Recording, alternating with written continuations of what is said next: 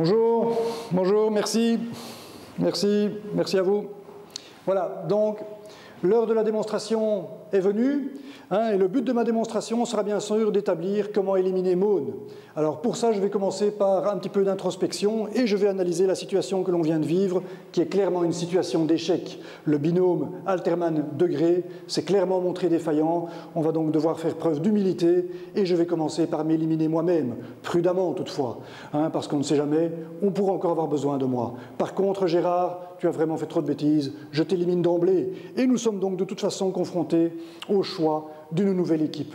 Pour cette nouvelle équipe, il me faut des hommes d'expérience, c'est-à-dire des hommes que je pourrais trouver parmi les anciens doyens.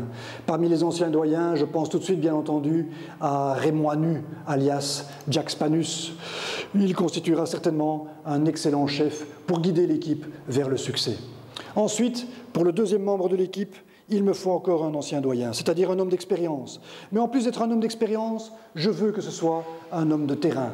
Un homme de terrain parmi les anciens doyens, bien sûr, je ne pense qu'à une personne, c'est Guy Warzé. Guy Warzé part régulièrement dans les pays les plus exotiques et en revient toujours couronné de succès. C'est donc très certainement l'homme de la situation. Pour le troisième membre de l'équipe, il me faut quelqu'un en qui je puisse mettre toute ma confiance, quelqu'un qui m'a toujours montré sa fidélité, quelqu'un qui n'a jamais failli devant la tâche que je lui ai confiée. J'ai nommé bien sûr mon assistant de toujours, Félicien Casadi. Maintenant, l'équipe étant complet, nous pouvons nous pencher sur le contenu de leur mission et c'est le but de ma démonstration. Comment éliminer Pour cela, nous avons deux voies possibles, la voie psychologique et la voie de la physique. Alors, depuis l'avènement hein, de la pédagogie active en faculté, la psychologie est à la mode, c'est donc la voie que je vais privilégier, ça fera plaisir à notre doyen. Comment éliminer Maune psychologiquement? Maune est un homme de pouvoir. Les hommes de pouvoir adorent le travail. Ils se sentent invincibles face à la charge de travail. Ils se sentent invincibles, travaillent sans relâche, jusqu'à ce qu'un jour, ils craquent. Ça, c'est la théorie du burn-out psychologique qui est illustrée ici dans sa situation la plus favorable. On y voit Maune crouler devant les piles de dossiers interminables, devant son ordinateur portable regorgeant d'emails non lus. Et dans une telle situation, Maune, inévitablement, sera amené à porter les mains à la tête pour se décoiffer. Et c'est ça la victoire psychologique sur Maune. Et pour ça, j'ai bien entendu besoin de connaître les rouages du cerveau humain.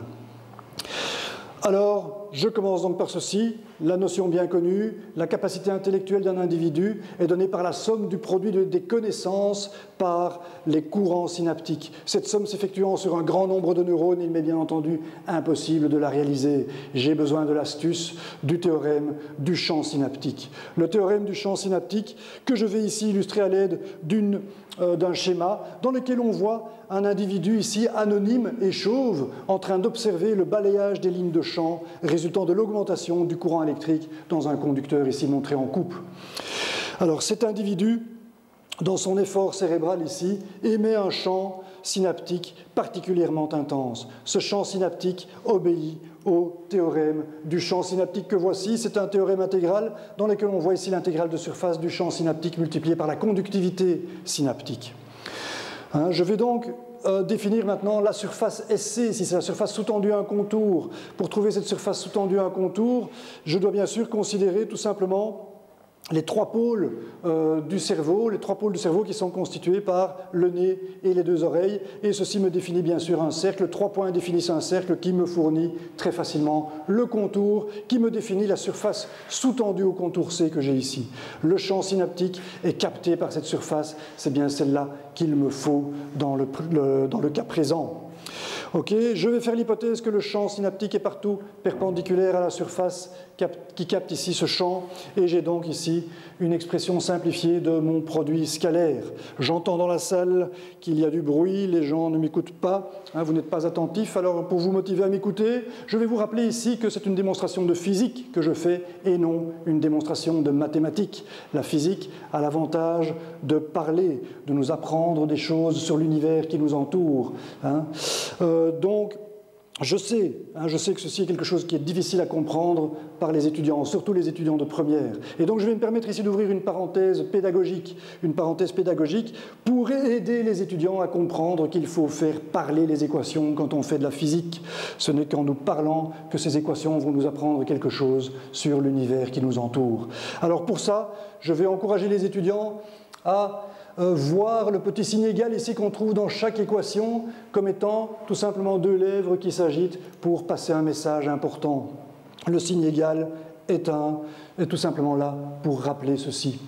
si vous considérez ça, vous n'oublierez plus jamais qu'il faut faire parler une équation.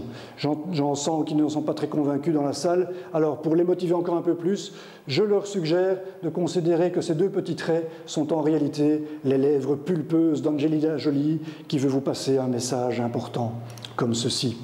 Hein, pour ceux qui avaient un doute, c'est bien sûr de sa bouche dont je parlais. Et bien sûr, j'ai pensé à tout. Pour les quelques filles qui ont en Polytech, il s'agira bien sûr de choisir l'image adéquate que voici. J'en reviens donc à mon problème. J'ai ici mon équation que je vais essayer de faire parler. Pour ça, je vais transformer le champ E en son module et sa phase. J'obtiens donc l'expression suivante. Je vais ensuite introduire hein, le fait que la conductivité ici est donnée par la mobilité synaptique euh, multipliée par la densité d'informations traitées par le cerveau, densité d'informations qui est bien sûr dépendante de la pression. Je parle bien sûr de la pression provoquée ici, la pression morale provoquée par la surcharge de travail que l'on va appliquer à Maune pour le faire craquer.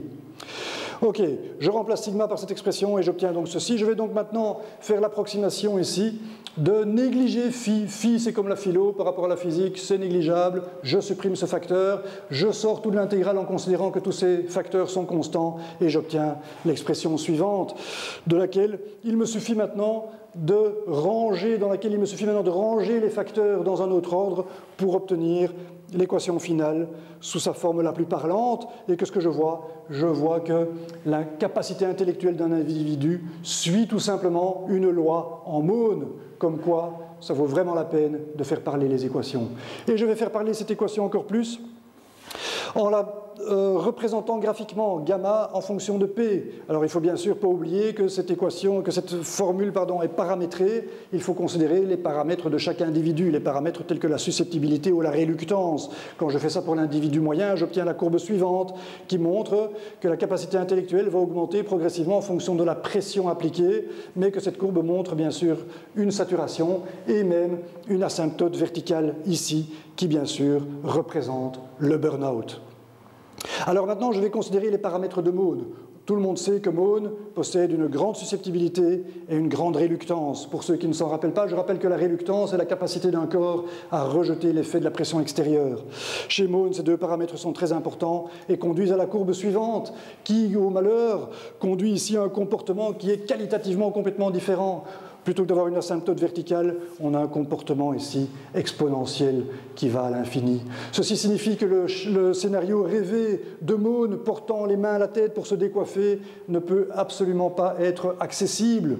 Hein, plutôt que de cette image de rêve, on a maintenant une image de cauchemar. Hein, on voit que quand la pression va augmenter, le cerveau de Maune va enfler de manière exponentielle et nous sommes donc véritablement devant un échec.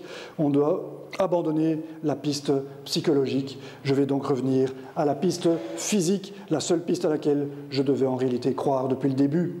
Pour la piste physique, bien sûr, je vais avoir une démarche pragmatique. Je vais considérer la situation actuelle dans laquelle se trouve Maune. Maune est actuellement dans son bureau, dans le bureau de son palais, à cet endroit-ci exactement. Maune étant quelqu'un de maniaque, il a fait construire son palais selon des plans tout à fait symétriques, d'une symétrie parfaite, qui m'indique ici l'existence d'un couloir dans lequel je vais pouvoir faire guider des ondes électromagnétiques telles que le suggère ce schéma. Je vais donc étudier la propagation des ondes électromagnétiques dans le palais de Maune. Et pour cela, je vais donc revoir à la base les équations d'ondes électromagnétiques. Et pour revoir les choses à la base, il me suffit d'ouvrir le syllabus de physique d'un étudiant de BA1 pour me rappeler effectivement et pour vous rappeler surtout que la combinaison des équations de Maxwell conduit à l'équation d'onde standard que l'on voit ici à trois dimensions. Mais ces trois dimensions, bien sûr, je n'en ai pas besoin. Je n'ai besoin que d'une dimension, c'est l'axe de symétrie ici du palais, c'est la coordonnée z qui apparaît dans l'équation d'onde que j'ai ici. Je vais donc représenter cette onde ici pour voir ce que je peux faire de mieux, hein, pour étudier l'environnement électromagnétique dans lequel cette onde va se propager. Je vais bien sûr considérer tous les niveaux du palais de César, donc y compris ces caves, ces caves qui regorgent de machines électriques, de machines électriques ultramodernes, comme, comme euh, le montre ici cette illustration. Cette machine, bien sûr, génère un champ magnétique environnant, un champ magnétique qui, bien sûr, est responsable d'un potentiel vecteur énorme. Pourquoi énorme? Parce que ce champ ici est oscillant, bien sûr, c'est une machine tournante. On a ici un champ oscillant qui va rebondir sur le plafond et le sol pour former une onde stationnaire avec un ventre ici dans lequel le potentiel vecteur prend des valeurs énormes. Et qui dit valeur énorme du potentiel vecteur dit des valeurs énormes de la perméabilité. La perméabilité étant grande, la vitesse de l'onde est fortement réduite. On a donc un effet de confinement puisqu'une vitesse réduite est synonyme d'indice de réfraction élevé. L'indice de réfraction élevé va donc agir sur le champ en l'attirant vers cette zone. Tout va se produire comme si j'avais ici des petits ressorts qui rappellent le champ à sa valeur nulle. On a donc un terme de rappel à rajouter à notre équation d'onde. C'est ce que je fais ici. Tout le monde reconnaîtra en abandonnant ce terme-ci l'équation de l'oscillateur harmonique. Ici, l'accélération qui est égale à moins oméga 0 carré fois E. Oméga 0 carré est tout simplement la fréquence de résonance des petits ressorts que j'ai ici.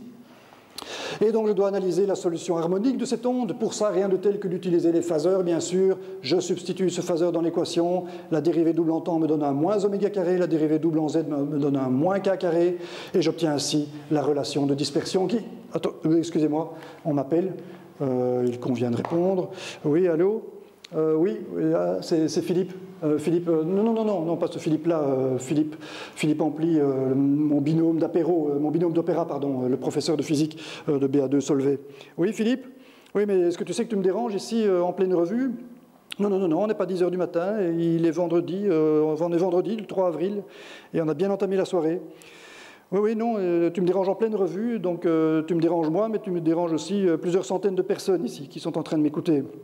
Oui, euh, dont tu fais partie d'ailleurs, je te signale. Ça, c'est pour ta pomme, mais je vois que moi aussi j'y suis. Donc ça veut dire que tu me déranges deux fois. Oui, comment, comment est-ce possible? Enfin, je te l'ai expliqué pourtant. Ben, c'est possible parce que euh, tu te rappelles bien que j'ai révisé la théorie de la relativité. Oui, au point de, de, remettre en question le principe de causalité, de localité. Oui, oui, non, je sais que j'ai montré qu'il y a moyen de se propager plus vite que la vitesse de la lumière. Oui, moi-même, je me propage d'ailleurs à, plus vite que la vitesse de la lumière pour être à plusieurs endroits à la fois. C'est très pratique pour donner cours.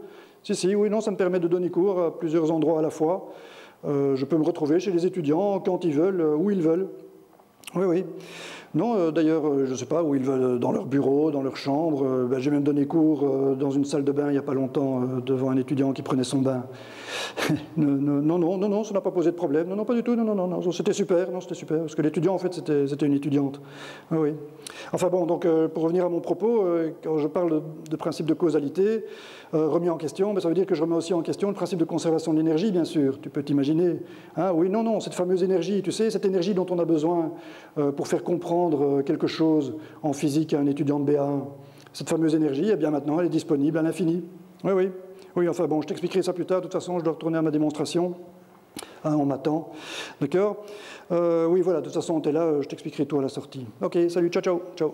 Excusez-moi hein, pour cette euh, perturbation. Donc j'en reviens ici à ma relation de dispersion qui montre bien que quand la fréquence est égale à la fréquence oméga 0, ben, j'ai un nombre d'ondes qui est tout simplement nul. Et un nombre d'ondes nul, ça veut dire que j'ai une vitesse de propagation des ondes qui vaut le rapport entre oméga et k, qui est tout simplement infini. Et ceci est le résultat euh, fondamentale de ma démonstration. On a une vitesse de propagation d'onde qui est infinie, qui est donc supérieure à la vitesse de la lumière et qui donc contredit les théories de la relativité. Ici, Einstein peut être éliminé au même titre que Gérard Degré. Ce qui m'importe ici, c'est l'application de ce résultat dans la formule de l'énergie. La formule de l'énergie, E est égal à mc carré, qui a été transformée par Moon dans un accès de folie des grandeurs en la, formule E est égal à mcc. Hein, euh, ben le c ici, il faut le remplacer par une vitesse infinie, ce qui veut dire qu'on a un infini fois un infini, ça veut dire qu'on a une énergie qui est encore plus grande que l'infini. C'est extraordinaire. Le tout est maintenant de déclencher cette réaction d'énergie infinie, et pour ça, bien sûr, il me faut amener une énergie initiale au palais de Jules César, et pour le faire discrètement, rien de tel que d'utiliser la fibre optique, bien sûr. La fibre optique va guider l'onde euh, électromagnétique qui va permettre de déclencher ce mécanisme de réaction infinie. Je vais placer un laser ici discrètement dans l'ombre du palais l'énergie du laser va être transportée par la fibre optique discrètement, va courir le long des colonnades ici pour euh, déclencher la réaction en chaîne. Il te suffira donc, Jack Spanus, d'être suffisamment habile, et j'espère que tu le seras, pour actionner l'interrupteur du laser de manière à déclencher la réaction dévastatrice, la réaction bien sûr qui va éliminer Maune et son équipe, ou qui tout au moins va le décoiffer. J'espère que vous avez tous compris, je compte sur vous, vous pouvez maintenant y aller. Un grand merci d'avance.